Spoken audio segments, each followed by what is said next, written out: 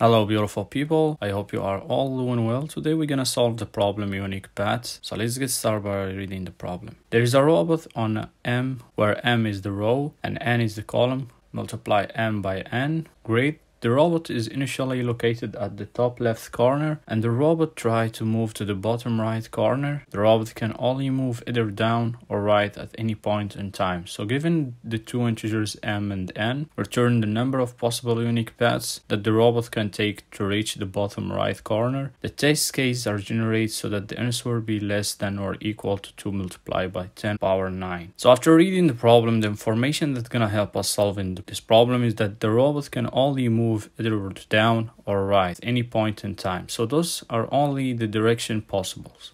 So to solve this problem, we're going to use dynamic programming. And as you know, dynamic programming is about breaking the problem into smaller sub-problems and solve them. After that, solve the large one. So the robot is located at the top left corner, means at 1, 1 position, m multiplied by n great. If we are starting from here, how many unique paths do we need to reach any square to the right? So one move. Or let's say how many unique paths do we need to reach any square to the bottom? Also one move. So to solve this problem, we're going to create a DP matrix matrix starting at the first square, which at the position 1 for the first column and the first row. So as we know, we can only move down or right. So if we want to reach the last six square at the first row, how many steps do I need? The answer is that there is a lot of steps that you can take. You can jump two steps, three times, or taking another step. But no matter how many steps you're gonna take, is still one path to the right or one path to down. But let's say we want to reach the square that at this position. How many paths we can take? The first one is we can move right down and the second one is we can move down right. Means we have two paths to, re to reach the, this position. And this number is also the same as adding one of the first rows at position 2 plus 1 of the second row at 1. In other words, it's just right plus down because the only way to reach this square is to be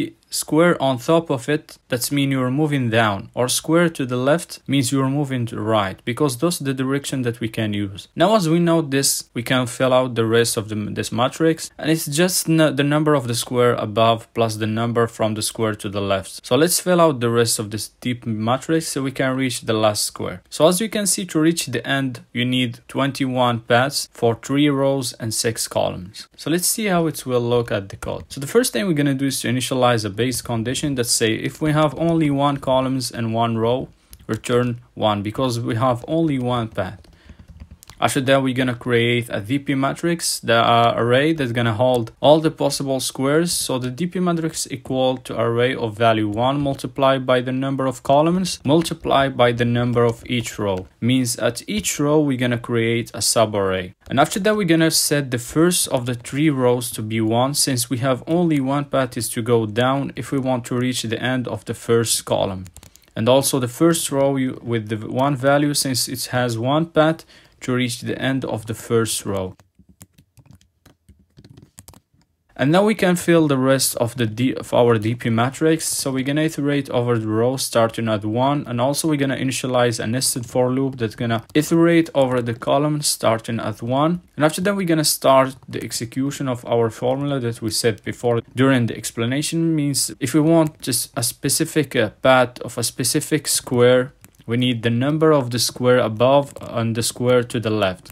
So we're gonna say dp at index row at index column equal to dp at index row at index column minus 1 plus the dp at index row minus 1 at index column. So now we are at the end of the loop. We will have the entire DP array filled with values and we return the last value in the last column in the last row. So we can say we return DP at index minus 1 at index minus 1 in Python.